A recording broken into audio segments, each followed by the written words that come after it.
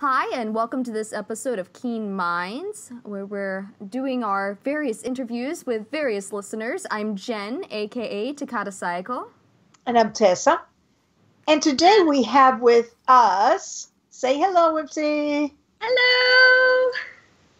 We're very excited because we, I know Whimsy listens to nearly every podcast waiting for our Saram stuff on, on the edge of her seat. And boy, did we have a great season for both Aramans and uh, and Samar and and and um, Saram. so tell us your favorite moments. Oh no. Uh, I liked the opening. The opening of the season was good, um, particularly with that scene in the elevator where poor Aram was like, ah, being pushed back against the wall. Not that I normally go for that, but it was kind of funny to see Samar sort of unable to keep her hands off him for once, because to me, I normally consider her as being quite reserved, so it was a little funny there. I like the ending as well, although there were things I did not like about the ending, but the overall conclusion, they are happily back together again. I was very happy with that, and that was nice. So that was good. What did you think about the engagement and all of uh, the path that they took for the engagement? Uh, that could turn into a rant. Is the thing. That's okay. Because you've heard me go on enough of them. yeah, that's true. See, I've had a rant uh, back from about the middle of season four when Elise came in, and I knew the sole reason she was there was to get between them and get them arguing and lead into that. And I knew even from that point, okay, this is going to happen about the season four finale. They're going to kiss and make up, and everything's going to be right with the world. And I hate that. So I hate the whole idea that they were arguing and arguing and arguing until they weren't even friends anymore. They could barely talk to each other, barely even look at each other. They got to such a low, and then all of a sudden at the end there, they just stop and they look at each other and they start making out, and that so- magically solves all the problems. I'm not a fan of that trope, so it was kind of like a like I was happy, but I wasn't happy. I was so stoked that they were finally a couple there was a lot of screaming at this end of the world when that scene finally happened. I was like, "Yay!" But I think, also, I why think I heard it did it Texas. have to be done that way? So there was you, there was a lot of that going into season five. Like I liked the end result, but I did not like how they got to that point. The whole engagement and breaking up and everything to me was just that seemed to me like a total mess. Like when they broke up, it was a just- predictable. yeah, that and also for me it didn't seem right for them because it seemed like the sole reason they broke up was because they both wanted more but didn't realize the other felt the same and it should have been so easy for them to talk about that as far as I'm concerned. I feel like they would talk about those things but clearly they did not. So I was a Um, little I was a little miffed. So you didn't you didn't buy that Aram was following advice from uh, the people he shouldn't, namely Ressler and Liz. Yes and no.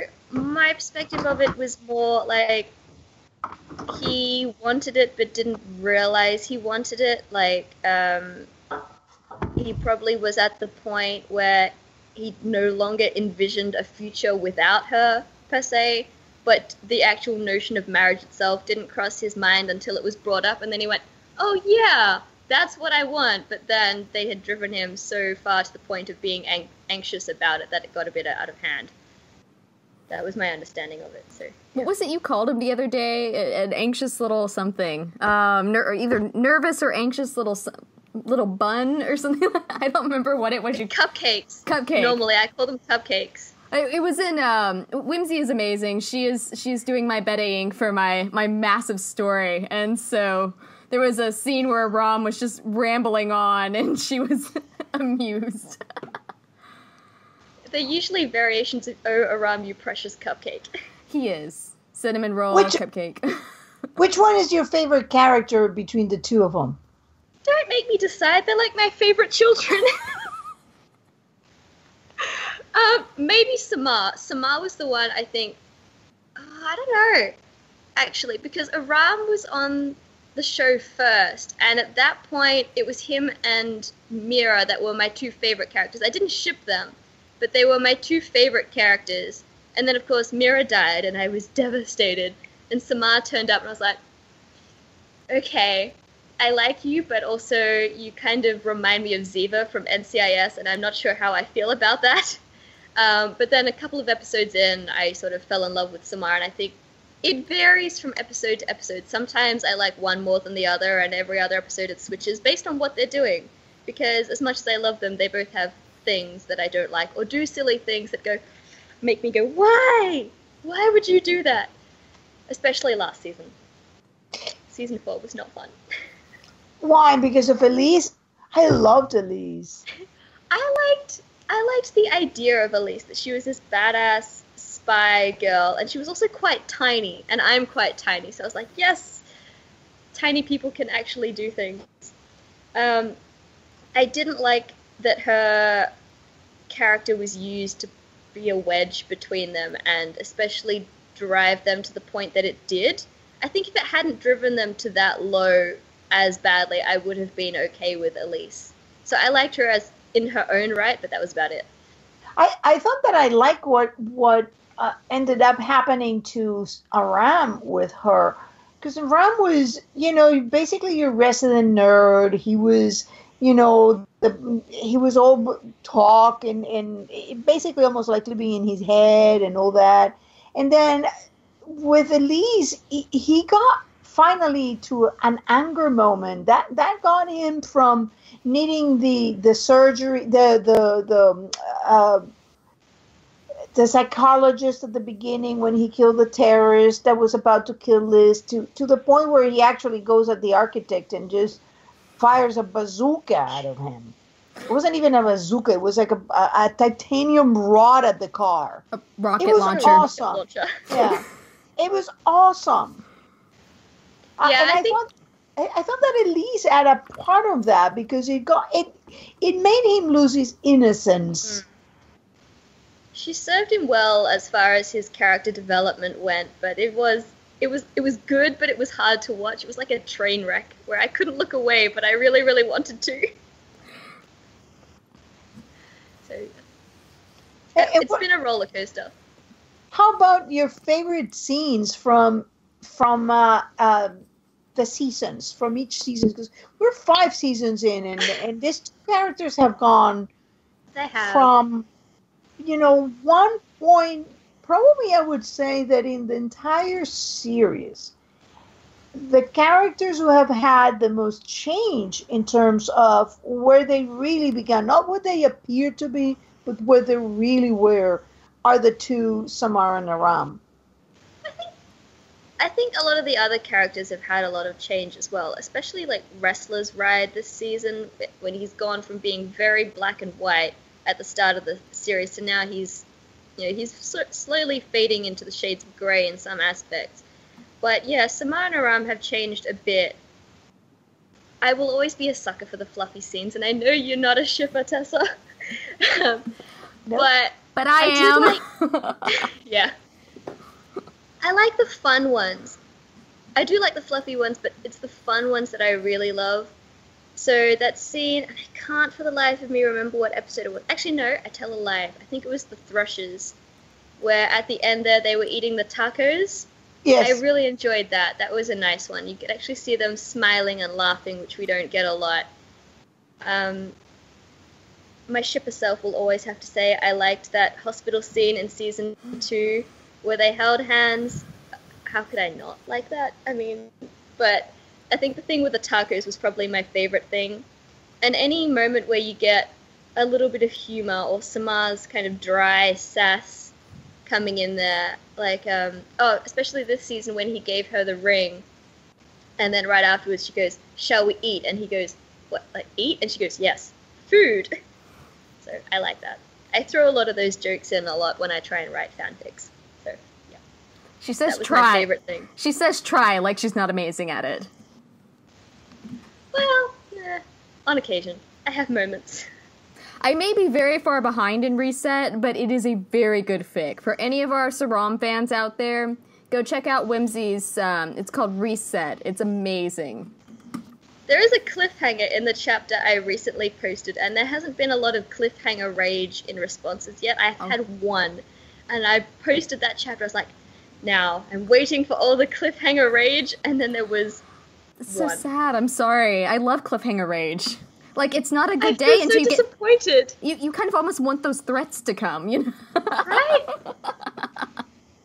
You're bizarre, you two. Writers, we're an odd lot. Mm. It's funny because I put a comment at the end of that chapter. I was like, "Oh, did I forget to warn you there was a cliffhanger? My bad. There's a cliffhanger." and then people just Sorry, assume it with sorry. mine. people just assume there's a uh, cliffhanger on mine. See, I'm nicer than that. I don't do a cliffhanger in every chapter.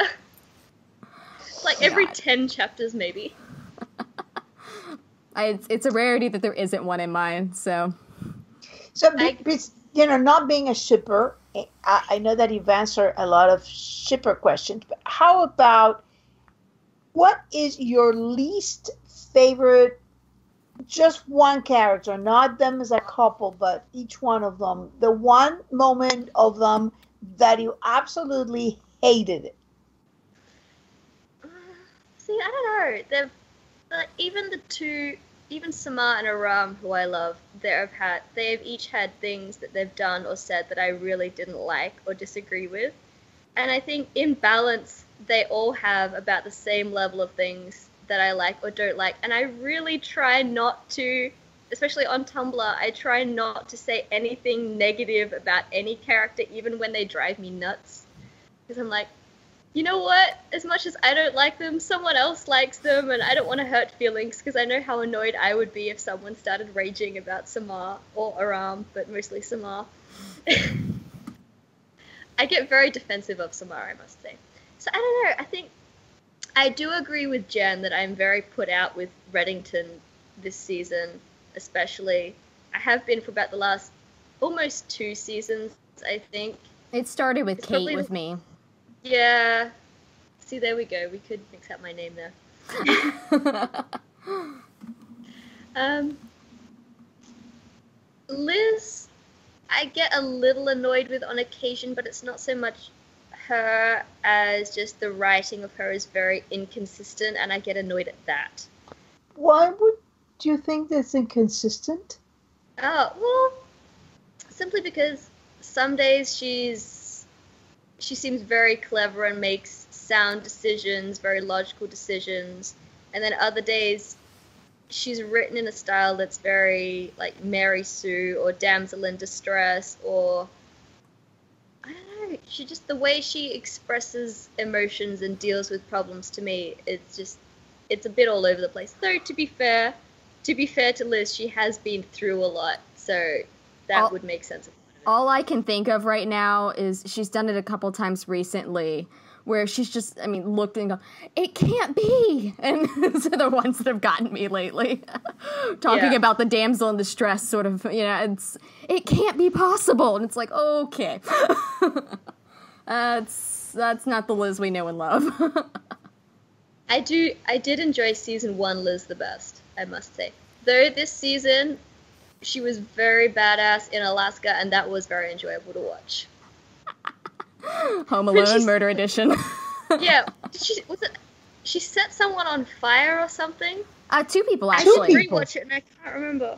Two. Yeah. Two. Two people, one with Yeah. a flare gun and the other one by uh, luring them into a cellar and then closing the door and throwing That's up the a one. bomb. That's the one I'm thinking of. That was fun. I enjoyed. I that. love the flare gun. The flare gun was fun. Yeah, that guy had it coming, though. I mean, like, he just wouldn't die. Oh. die. And the glass in the ice. I yeah. thought that was. That was the great. same was guy with the probably flare my gun. Favorite. Yeah. No, Yeah. that guy died. No, the glass in the ice. He was choking on it the whole time. That was the guy that she got with the flare gun. That was the ice last cubes, She one. put glass in them. That was clever. I really like that. Because it was badass, but it was it was very subtle and discreet, unlike just full on setting a guy on fire. So I enjoyed that. She was just trying to mourn. I mean, come on. Let the woman Leave her mourn. in peace. Leave her alone. Let her murder in peace. yeah, let her murder in peace. She mm. as a character needs a break. I think she needs a nice like vacation somewhere That's what I with said. no drama. It's I, they they should have kept Tom alive. They should have faked his death so that after everything's done, they could just go to a beach somewhere and be like, "Nope, not dealing like- with this." As much as I agree with that, whether we have Tom or not, I think Liz just needs a Fair. break. Whether it's with Tom or whether it's part of her mourning his loss, she needs a break because every time she gets past something, they throw something else at her. Oh, she's I still want a got a happy Liz for one episode. Uh, wrong show. yeah, I know. I want all the characters just to have one moment where something good happens for them, even if it's something very small. But I mean, look at them. Ressler was Ressler happy when Prescott got roasted No. by by uh, Red. He should have been like, oh man, I mean, this is great. I actually got out of this in one piece with my reputation intact, and the bad guy got roasted. That's, That's a not Ressler, though. Because for Ressler, it's like that was wrong, that was illegal, that's not how it works. I'm not going to be happy about that. it's it's more of his moral compass versus Yeah. what everybody what what he's feeling, what he's seeing inside versus what everyone else sees on him. He's not. It doesn't make him happy, I think, for problems to be solved that way. It's not in his character because he, for him, it's very much justice. Yes, he needs that, but it needs to be done in what, in his mind, is the right way, and to him, that was not it. Hmm. So it's, so it's kind of like the way I see Saram, and I'm gonna make that jump. Yes, where I liked the the end result was good, but I didn't like the way it happened. So I think in terms of Ressler with Prescott, yes, the end result was good. He no longer had the Prescott problem, but he didn't like the way that eventuated. Neither you or Ressler are ends justify the means type people. No, no. Uh, let me ask you something because I've been actually pretty in two minds. I wouldn't say I'm bothered by it. I I, I understand it. When Samar gets taken by the crazy guy and the rats, oh, here we go. she does so because she makes a mistake. She goes at him, and the guy surprises her. It was a it wa- was almost a rookie mistake, and I know that things like that would happen to any season agent. I mean, one time you will, you know, you will be tired. Your mind will be somewhere else. You were worried about the kid too much. She gets hit on the head, and that was very rookie of her. And then she must have been um, had had some head injury, and she gets at the guy, hits him, and instead of taking the gun and shooting him immediately, um, he, she doesn't do that. So, what are your feelings about that kind of writing? And then we got the bear, of course. All that So in a bear. You mean spec- oh yeah, specifically the bit where she was shoved in the back of the van. Is that the bit you Mhm. mean? Yeah. Yes. See, for me, I did actually struggle with that because I know when I saw that, I thought that she shouldn't have been taken that easily. And it didn't make sense to me that she was taken in the first place because I, to this day, I still can't figure out why the guy did take her. Why didn't he just leave her unconscious in the car park? Because the rats, his rats were getting too long teeth. He needed something to uh, to chew on, and he needed to study the composition of a body attacked by rats.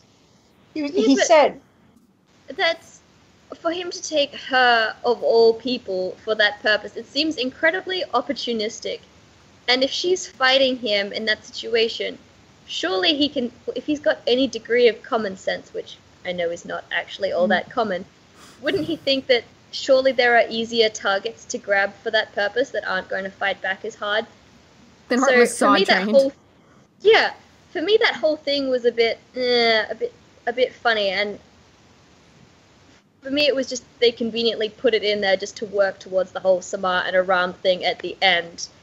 Um, I wouldn't have called the bit where she shoved in the back of the van. I didn't think that was a rookie mistake so much as maybe the guy just got a lucky shot in and happened to hit her in the head.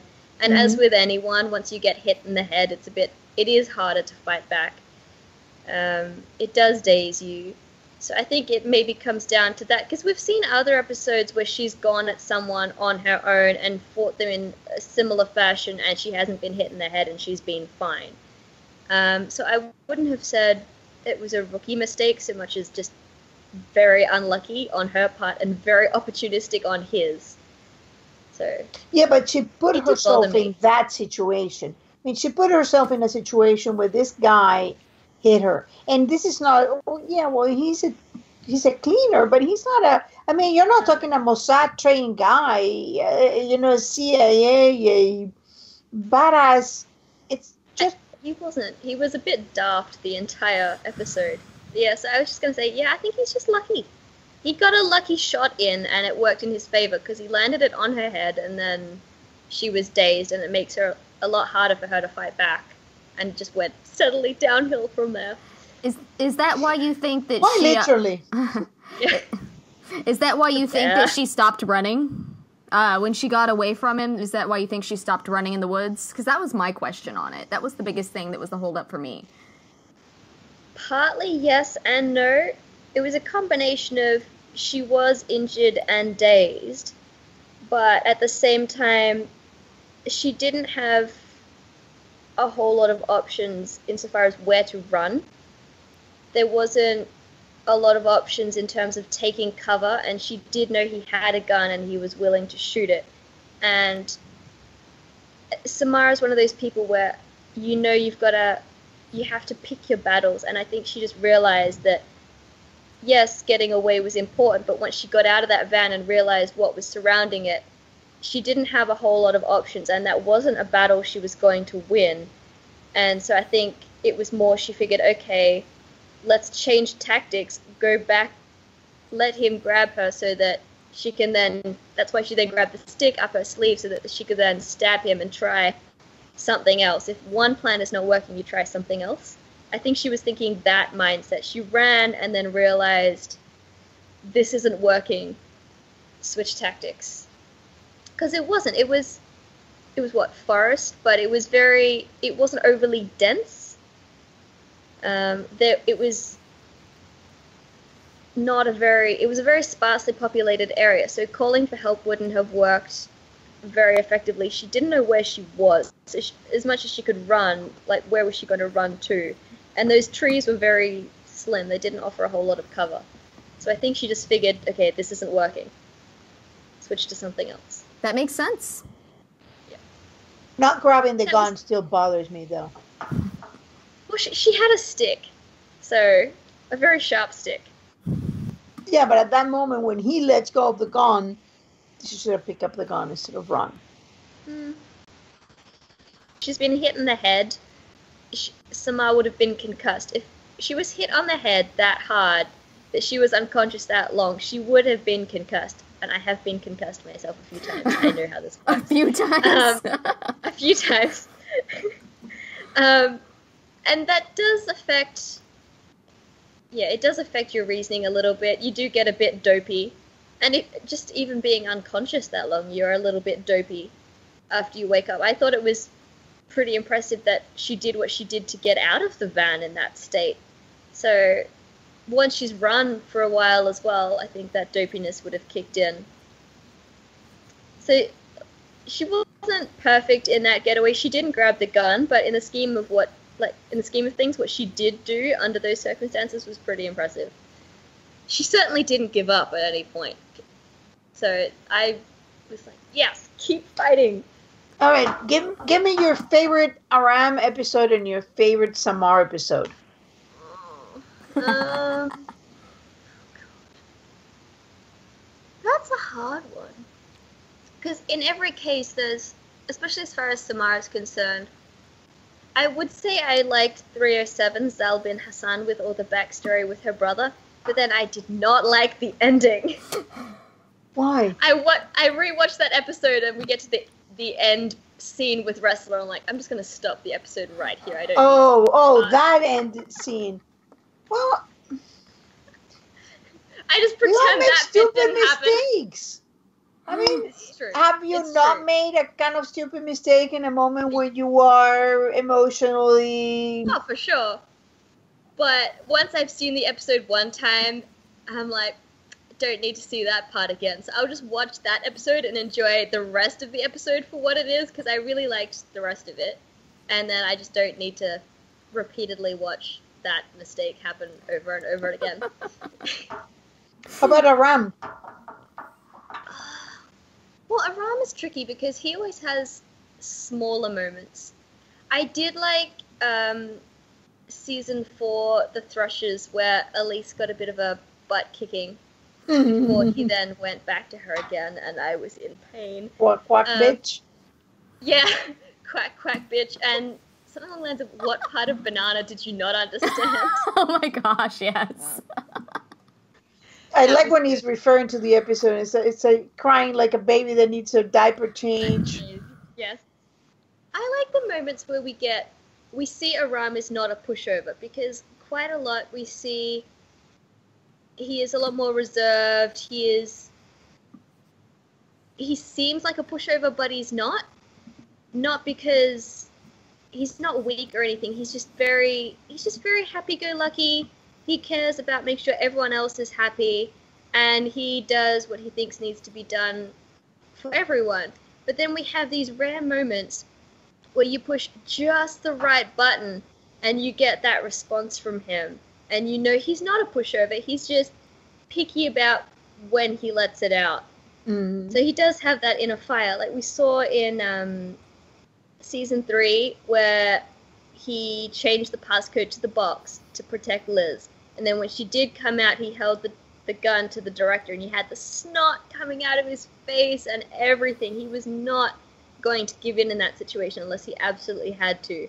And then we see the moment, like as you mentioned, the firing of the bazooka in season four. So I like those moments where we get just Aram sort of losing it a little bit, and you can see he's not a pushover. I, I do enjoy those moments. Jen, how about What? you? You've been very quiet. How Um, about you? Some both of them or Mm.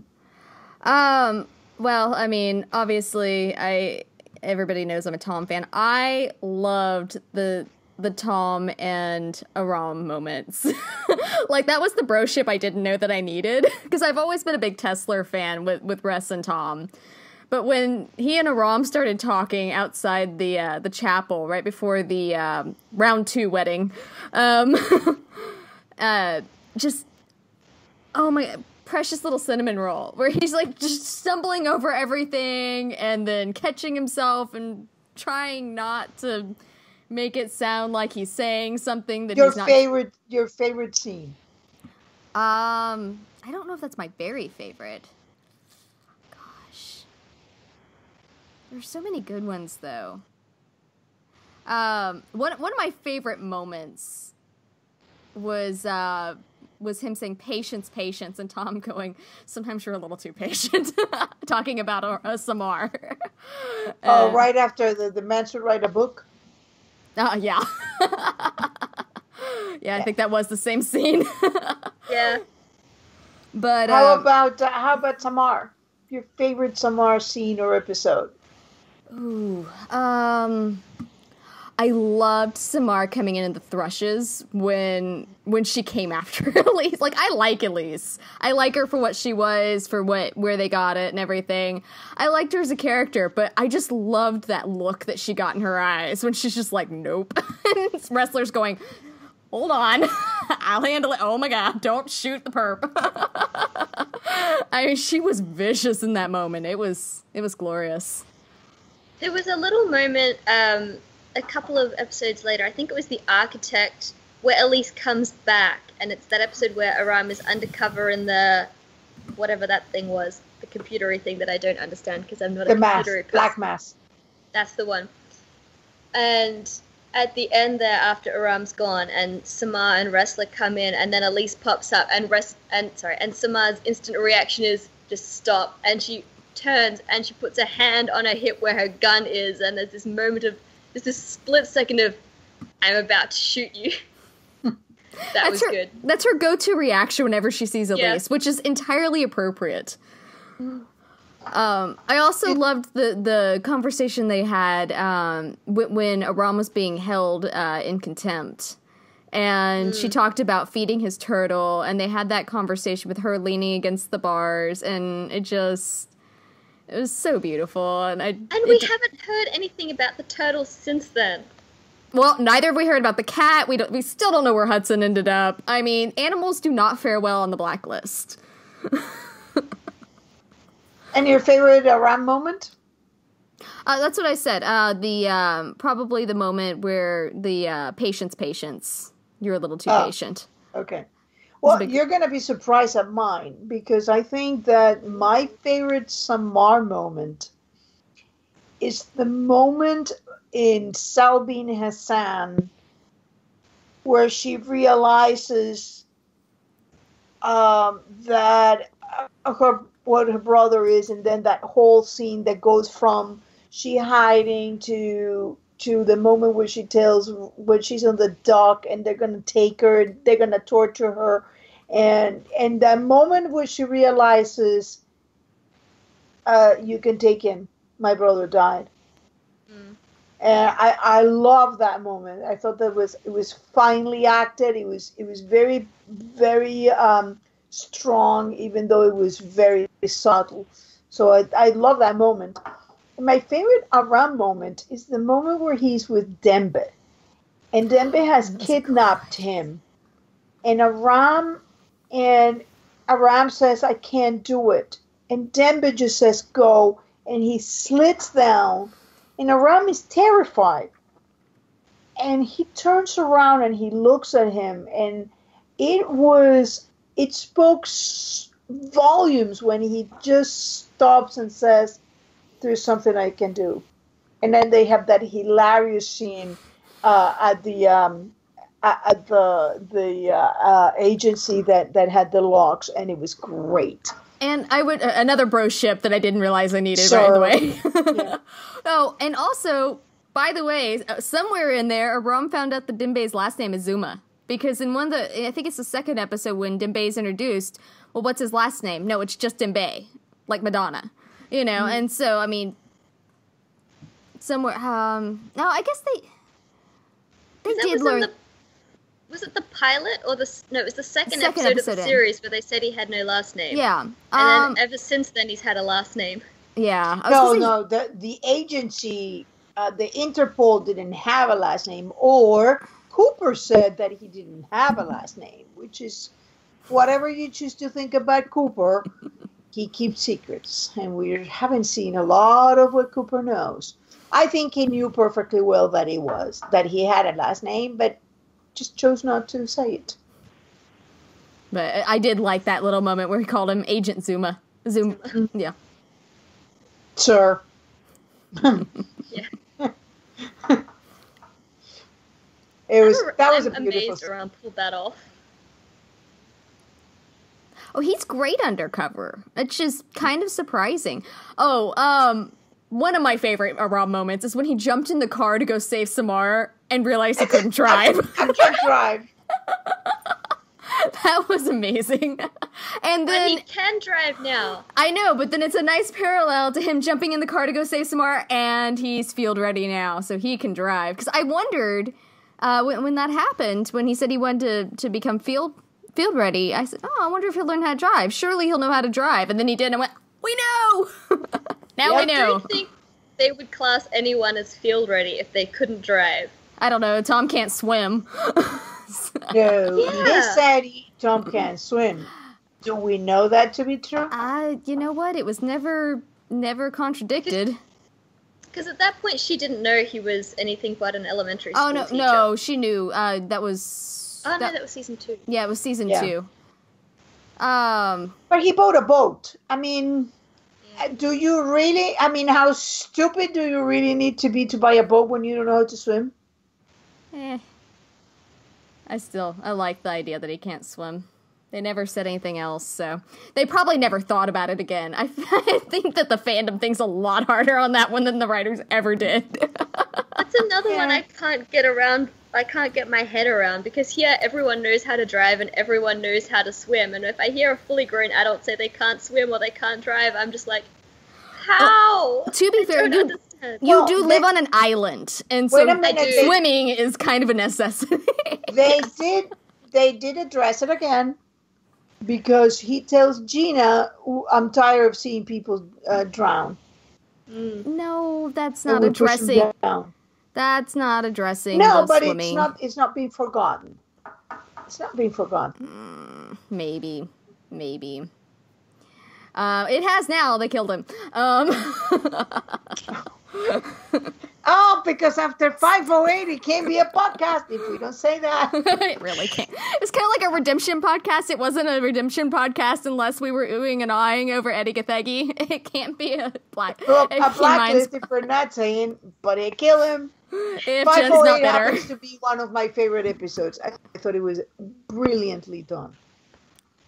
I've watched it God knows how many times. I need to do a rewatch of Redemption. I haven't actually watched it again because I watched the series and then I rewatched it one time right after it finished, and then I haven't watched it again since, and I need to do that. Okay, what is your favorite overall episode from all five seasons? Oh, I know. Tough questions. Asking the real tough questions now. I don't know. It's. Oh, I'm in pain. This is impossible. All right, the whole thing is going to be erased. And you can only choose one episode to see again, and after that, every digital copy will disappear. um.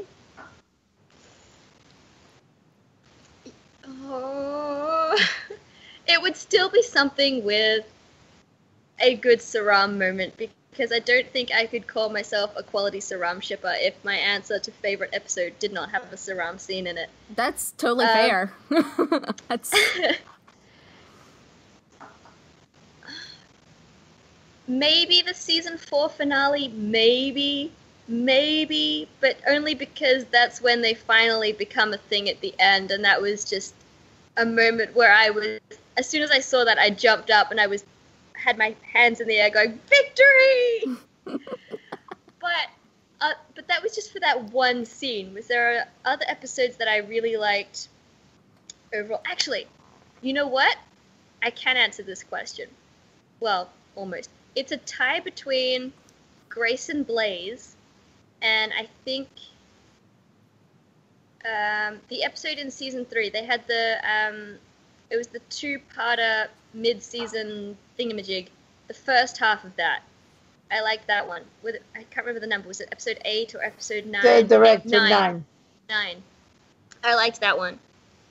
Even though those didn't have uh, huge Saram moments in. I like that one as an I like those two as overall episodes. Um, because I like episodes where we get all the characters. They all have a moment. I really like when we've got a balance there. And they both had that sort of fun heist feel, which I also really love. Every time we get a heist episode, I get very excited. Um, so yeah, I like that one. I like seeing all the characters have their moments, even the ones I don't necessarily like quite as much. Um, What's your least favorite uh, character? Least you've already asked me this. No, I asked you about the Least favorite moment. People don't like to be asked about that. They all have things I like and don't like. I am put out with Reddington as much as I love him. At the moment, I am just a bit like he needs to give he needs to give something at the moment. Have feelings Yeah. on Jennifer? I like her. I do. I like her. I am living for the badass sisterhood dynamic duo we're going to get next season. I can't wait for that. I was a little bit put out before the season finale where it looked like Jennifer and Liz were at loggerheads with one another. And then we got to. She came in right at the end of the season finale, and I actually was like, yes, she's here! that was the one thing I was not expecting in that episode, and then she popped up, and I was so excited, and they were working together the whole time, and I was like, "That's the best ever." That was my favorite moment, aside from the Saram engagement. My favorite, ep- my favorite part of that episode was when Jennifer turned up, and they were working together the whole time. It was. So nice. you are looking forward to seeing uh, them trying to take Red down. Oh yes. Well, not so much taking Red down, but them working together and being badass together. That's what I'm looking forward to. Whether it's taking Red down or whether it's doing something else badass, I'm not as worried about, but I am looking forward to seeing them working together. Because I think Liz needs that, and I think Jennifer needs that, and frankly, I need that because we don't get enough moments of Liz and Samar being badass together, and I'm all for fabulous Pink and badass perfect. gal pals. Pink and perfect. Exactly. Except not pink and not perfect. I love that scene with them. That's one of my favorite Liz and Samar scenes. Yeah. Is that is her handing him the, the uh, rent bill? See, That was a great moment. we don't get enough of the characters like Liz and Samar, Jennifer, those kind of badass ladies. We don't get enough of them just working together and being just being awesome together. For You're lack of a better word. You're a Mira admirer. Um, do you know that I have a theory on Mira? That Mira was actually uh, Peter's original spy on the task force. That wouldn't surprise me actually. and that mean, I- that she didn't get killed because she was the first one being killed. She was killed because she was supposed to be the one killed. They were cleaning up. That's possible. I haven't actually looked into the season one episodes with enough detail to look into Mira specifically because I think I was looking for everything else at that point. But that's interesting. I need to rewatch season one now. I love season one. Season one was great. She just when when Diane Fowler threw her under the bus by having Mm. her being the one signing the the order, she threw Diane back under the bus by giving Red her name. Well, I'm sorry. If someone threw me under the bus, I'm going to throw them right under the bus back. Right I there, don't blame sister. Mira there. Right there, and probably also with a little extra hard push. Why not? Take you with me. If I gotta go, I'm taking you with me. Exactly. Oh, interesting. So you're not you're not like oh no surprise. Yeah, I have a feeling that when when the show ends, if they end it the way they want to end, I think we're gonna get a few surprises and a few Yeah. tied of losing loose ends that are still there. List keeps growing. I would like to be surprised because at the moment there have been a lot of things I have not been surprised by, and I was disappointed that I wasn't surprised that they went with the thing that I thought they were going to do. And for me, okay, my one thing with the imposter theory reveal at the end of this season was they hyped up, they hyped it up and hyped it up for weeks in advance of the finale, saying we're going to have something that nobody has been expecting. And if they're going to do that, the thing it is, the one thing it shouldn't be is the thing that half the fandom has been expecting for three years in advance, or however long it was. But that theory has been very common. So when they brought that out, I was like, really? That's the one thing it should never have been Well, they they I said be something interesting. in the show. I, I agree. I think that a lot of the things have been telegraphed a little too much. Hmm. But then there there are things like my my favorite uh, thing with with uh, uh, and this is not about the show. This is actually about the fandom. Is we were handed in 508 something that was to me fundamental in understanding red, and nobody paid any attention to it. Then I've been yelling at the top of my lungs about Tom being a undercover CIA agent because there's no way that Fitch could have learned that the task force was in and nobody listens. I'm like, ah, it's there. Listen, it's there. But then again, I've been wrong about so many things. What's one more? I do not think that Tom was a CIA agent. Worked with them perhaps, but not certainly not an agent. I think it would undermine a lot of his story. Uh, how do you explain that Fitch knew That Fitch knew what? that the task force was in danger? He was a highly ranked CIA uh National Security Advisor. Like what would you call that? Um but yeah, he's super highly ranked in the in the intelligence. He didn't know who Berlin was until Red gave him the name. I, I do not think Tom was After. CIA. And There is only there is only two people who knew that that Ber- fake Berlin had the task, had the list. Fake Berlin and Tom, and not a, a few. The next scene, Fitch is going in there and telling them, you know, the task force is at risk. Red gets out, and the first thing he does, with blood on his face, is calling Liz and telling him the la- the task force is at risk. how do we know that, that they were the only two that knew about the li- the list? We don't know because that. because Tom had just given the list to fake Berlin. And there were people all around that could have seen it. I mean, there was there were the people that were working there. There was the people they were calling to do the hits. I mean, okay. So the fake fake Berlin, the assassin given the task, and Tom, and immediately and after, potentially others because we don't know how many people were around there.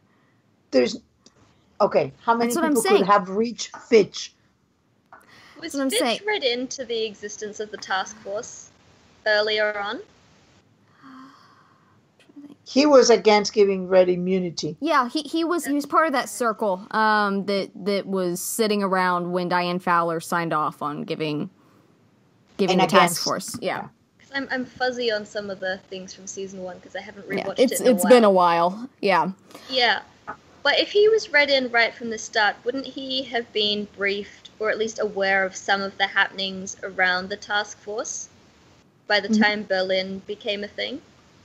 But how? When, but at that time, Berlin was supposed to be dead. He is supposed to have died in the river. And then fake Berlin called Tom, asked for the list. And the next scene, he gives him the list. And the next scene, Fitch goes to Red and says, The task force is a target.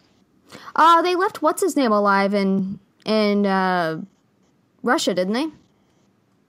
The one that they thought was uh, was uh, the Decemberist. No, they kill him. Did they kill him? yeah. To what end did you meet? To his, it turns out. Hmm. It's a great phrase. I don't know who wrote that episode, but it was really good. Probably Bokenkamp. Yeah, it's I, you know I'm. It's a kind of like little things that let, that tells me maybe I'm completely wrong. Lord knows I've been wrong way before in this show, and I'll continue to be wrong. But it just seemed like, ah, I don't know. Maybe there are details at a level that we're not seeing. I don't think that, that Tom worked for the CIA. I do think that he probably contracted from time to time because he talked about it in Redemption that he had worked with uh, what's her name, uh, the, the CIA operative. And so, I mean, we know that he'd contracted with them, but I also believe that the major had ties to various militaries and various organizations and probably contracted out to them on a fairly regular basis. So it would it would make sense that his operatives were working with U.S. agencies, with foreign agencies all over. You know, I mean that And- that makes sense. Anyone in those circle has, circles has got contacts everywhere in every agency around the world. Little birdies. yeah, government or non-government. So they would have contacts that they would ask little favors for, and there would be little whispers going through the grapevine. They would hear things. And especially if they are read into certain operations, I think they would pay more attention to whispers relating to some matters over others.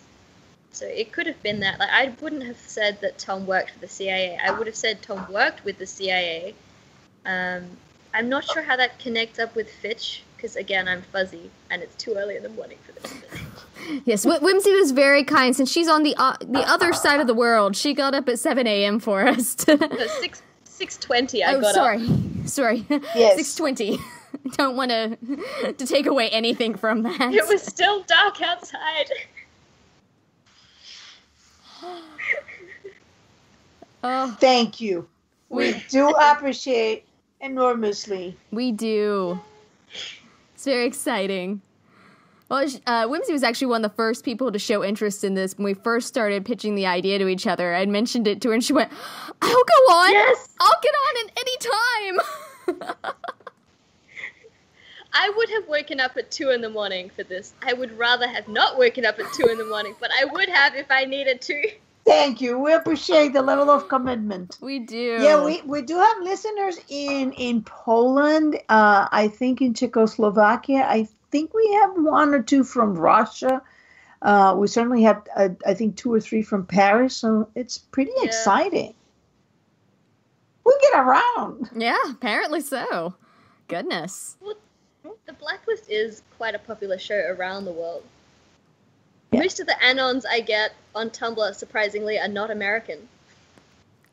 Uh, yeah, I get quite a few. Um, well, I don't get nearly as many anons as I used to, but back when I did, I, I, I believe that a lot of them were tended to be